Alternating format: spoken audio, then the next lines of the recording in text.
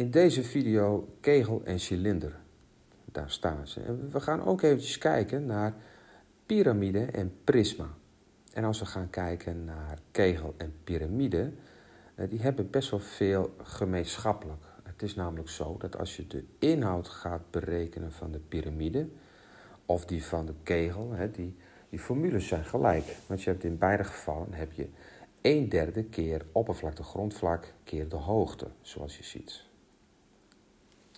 En als we gaan kijken naar de cilinder en naar de prisma, ook die formules zijn gelijk als je de inhoud wil berekenen. Want je doet namelijk oppervlakte grondvlak keer de hoogte. Maar goed, als je gaat kijken naar uh, piramide, die heeft waarschijnlijk een grondvlak, dat ziet eruit als een rechthoek. En die van het prisma ziet eruit als een driehoek.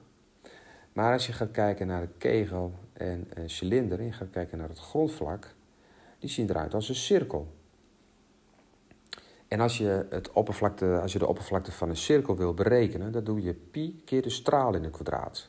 Dus dat betekent dat ik iets moet veranderen in uh, de formule van de kegel en die van de cilinder. Want het oppervlakte grondvlak, of tenminste het grondvlak, ziet eruit als een cirkel. En uh, de oppervlakte van een cirkel berekenen we als volgt. Dat is namelijk pi keer de straal in het kwadraat. Oké.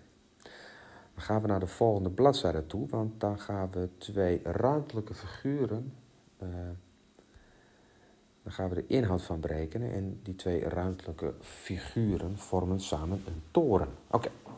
Bereken de inhoud van de toren in kubieke meter en rondaf op gehelen. Nou, ik heb eigenlijk al iets verklapt over deze toren. Dus misschien kun je de video even op pauze zetten en dan kun je het zelf even gaan proberen. En als je dat niet doet, dan moet je vooral eventjes blijven kijken. Nou, ik verklapte eigenlijk al een beetje dat deze toren bestaat dus eigenlijk uit twee ruimtelijke figuren. Namelijk het onderste deel ziet eruit als een cilinder en het bovenste deel ziet eruit als een kegel. En als ik de inhoud wil berekenen van de cirkel, dan doe ik oppervlakte grondvlak keer de hoogte. En mijn grondvlak ziet eruit als een cirkel, dus ik doe pi keer straalkwadraat keer de hoogte. De inhoud kegel, eh, als je de inhoud van een kegel wil berekenen, dan doe je dus 1 derde keer oppervlakte grondvlak keer de hoogte. En mijn grondvlak is een cirkel, vandaar dat je 1 derde keer pi keer straalkwadraat keer hoogte krijgt. Als ik de inhoud van de toren wil berekenen, dan moet ik dus inhoud cilinder plus inhoud kegel doen.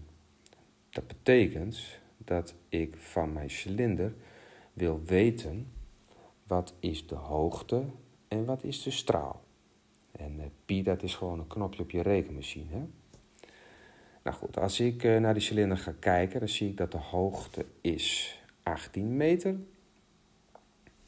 En ik zie dat de diameter bekend is. En de straal is weer de helft van de diameter. Dus vanaf hier tot en met daar, dan heb je de straal te pakken. Dus ik krijg een half keer 3,8 en dat is 1,9 meter. je mag natuurlijk ook doen 3,8 gedeeld door 2, dat is hetzelfde. Nou, en van mijn kegel wil ik ook weten de hoogte en de straal. Kijk, de hoogte wil ik weten en de straal. En een derde is een breuk en pi is een knopje op je rekenmachine. En afgerond is dat dan 3,14, maar dat gaan we natuurlijk niet doen. Oké, de hoogte van de kegel is 3,5 meter en de straal is even groot als die van de cilinder, dus 1,9 meter. Dan gaan wij de inhoud van de toren berekenen. Dus we krijgen een inhoudcilinder, dat is, uh, dus dat is pi keer de straal in het kwadraat keer 18. En de straal is dus 1,9. En de inhoud van de kegel, dan moeten wij doen 1 derde keer pi keer 1,9 kwadraat keer 3,5. Nou, als je dit op je rekenmachine intikt, zul je dit krijgen. Het is ook in eh, kubieke meter, want het is uh, inhoud gaan we eventjes terug naar de vraag, want er staat toch heel duidelijk rondaf op gehelen. Dus ik ga dit afronden op 217. En dan zijn we aan het einde gekomen van deze video. Ik zou zeggen, tot de volgende keer.